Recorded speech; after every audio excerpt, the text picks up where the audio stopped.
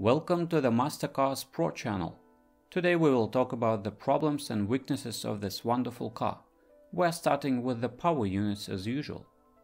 The XV50 Toyota Camry has a wide engine range from 2 liter 145 horsepower 1AZ FE before 2014 and 150 horsepower 6AR FSE after 2014 to 1.5 liter 180 to 200 horsepower 2ARFE and 2.5 liter 249 to 272 horsepower 2GRFE gas engines.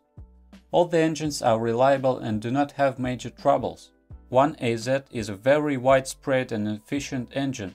Thread disruption while repairing cylinder head is common to these engines, so do not remove cylinder head if not required. This problem results in coolant leakages on the back section of cylinder block and engine overheating. Crankshaft bearing seal may have leaks and high vibration levels observed at 300 to 700 rpm.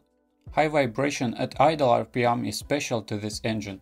Vibration level can be increased by injector, idle RPM valve, EGR system, MAP sensor, or engine mount failures. Soot sediments can accumulate in the intake so the manifold and throttle body need to be cleaned. If cleaning does not help, check VVTi or lambda sensor. FSE motors with direct injection are sensitive to bad fuel, so injection pump and injector failure is quite possible. Timing chain does not need replacement in 200 to 250 of kilometrage.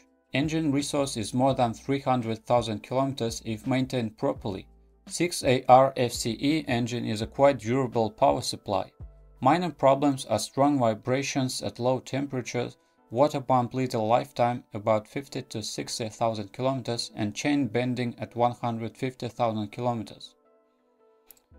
2AR engine is the most durable of what you can find in XV50 Camry. Minor water pump coolant leakages and VVTi knocks occur. VVTi vane replacement can help reducing noise, but this problem will return in a short time. Regularly maintained engine will be operating efficiently for hundreds of thousands of kilometers. Engine construction does not provide usage of repair pistons. It can be resleeved though. The most powerful 2GR FE was also reliable, but aggressive driving made most of the engines ready for repairs. High fuel consumption, about 15 to 17 liters, however, is one of few engine disadvantages. VVTi vane can produce knocking sounds at engine starts that are special for GR series, as well as engine overheat risk. Engine overheat results in compression ratio reduction. Water pump should be replaced every 50 to 70,000 kilometers. Ignition coil upsets can occur. Timing chain flexes at 200,000 kilometers. It is strongly recommended to check timing chain and tensioners on used cars. XV50 Camry was aggregated with 4 and 6 speed auto transmissions. 4 speed one worked with 2 liter engines.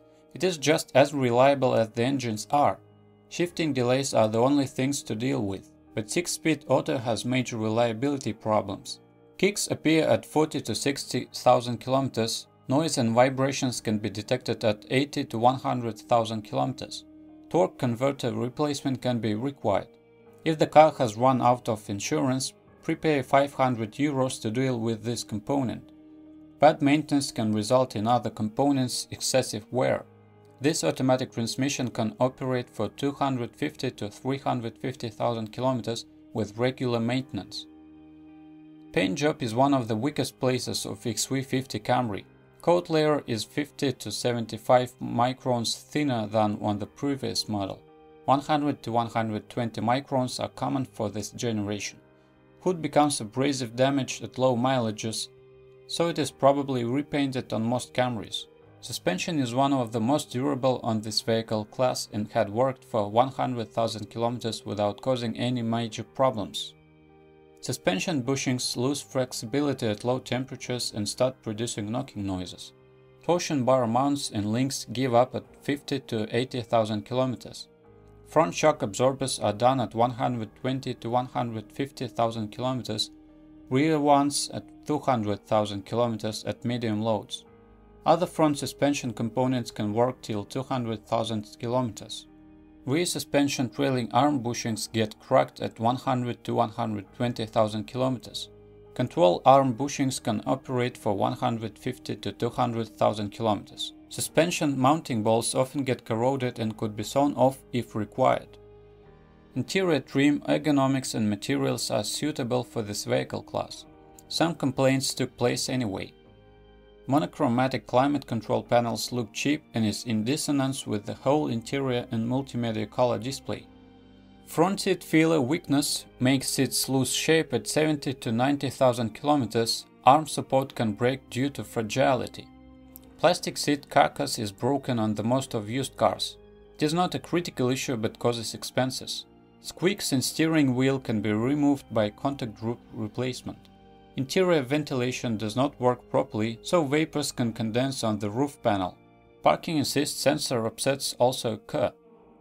Parking assist sensor malfunction is caused by dirtiness. Well, if you are the owner of this car, then please describe the problems that you had to face during the operation of the car. Perhaps it is your feedback that will help viewers when choosing a car. That's it for today. Thanks everyone for attention.